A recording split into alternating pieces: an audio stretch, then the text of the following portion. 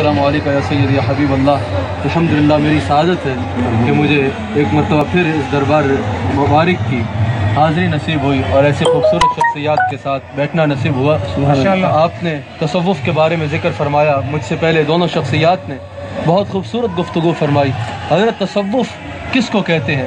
صوفیاء ارشاد فرماتے ہیں کہ احکام الہی اور سنت مصطفیٰ کریم صلی اللہ علیہ وآلہ وسلم کو اس انداز میں اپنا لینا کہ انسان کا باطن پاکیزہ ہو جائے۔ انسان کے باطن کو پاکیزگی نصیب ہو جائے جس کے ذریعے انسان قرب الہی حاصل کرے۔ اور اس قرب الہی کے ذریعے انسان کے انسان کے جو معمولات زندگی ہیں وہ پاکیزہ ہو جائیں۔ اس کو تصوف کہتے ہیں۔ اور حضرت داتا صاحب رحمۃ اللہ تعالیٰ علیہ نے کشف الماجوب میں ارشاد فرمایا ہے کہ تصوف اخلاق حسنہ کو کہتے ہیں۔ یہ اخلاق حسنہ کا نام ہے اور تصوف اصلاح کرتا ہے۔ گویا کہ معمولات دین میں اصلاح معمولات اخلاق میں اصلاح نیت میں اصلاح اعمال میں اصلاح فکر آخرت میں اصلاح یعنی ہر شعبہ زندگی میں اصلاح۔ جس طریق سے ممکن ہے اس طریق کو تصوف کہتے ہیں۔ اس طریق کو تصوف کہتے ہیں۔ اور صوفیاء ارشاد فرماتے ہیں یہ تصوف کوئی بدعت نہیں ہے۔ یہ کوئی نئی چیز نہیں ہے۔ تصوف اصحاب صفا سے ہے۔ تصوف کا آغاز جو ہوا ہے وہ اصحاب صفا سے ہوا ہے۔ اور تصوف میں آنے کا مقصد کیا ہے؟ کس تصوف کہتے کس کو ہیں؟ تصوف سے وابستہ ہو کر کسی کو کیا ملتا ہے؟ اہل تصوف سے وابستہ ہو کر۔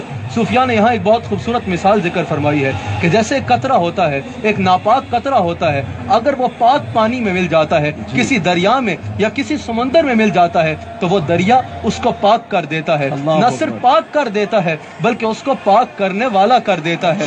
جس دریا میں جس دریا میں وہ قطرہ ملتا ہے اگر اس دریا سے کوئی آگے وضو کرے تو وہ وضو کرنے والا پاک ہو جاتا ہے۔ یعنی اسی ناپاک قطرے کو وہ دریا یا سمندر پاک نہ صرف پاک کرتا ہے بلکہ اس کو پاک کرنے والا بندہ دیتا ہے۔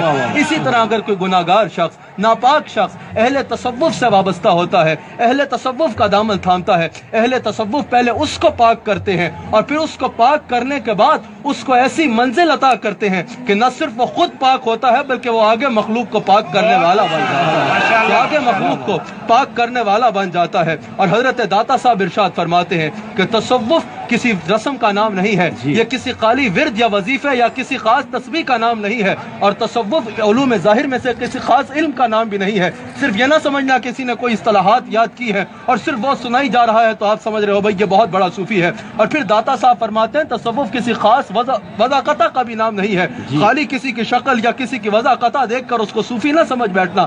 داتا صاحب فرماتے ہیں تصوف کسی جبہ اور دستار کا نام بھی نہیں ہے۔ کسی جبہ اور دستار کا نام بھی نہیں ہے۔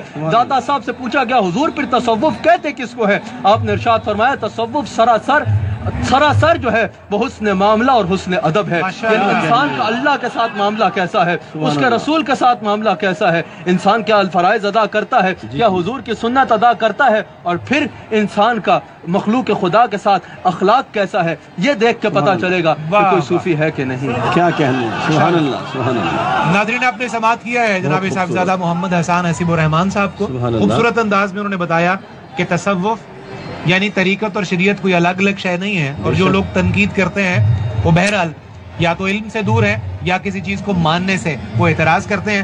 خواجہ غلام قطب الدین فریدی صاحب کی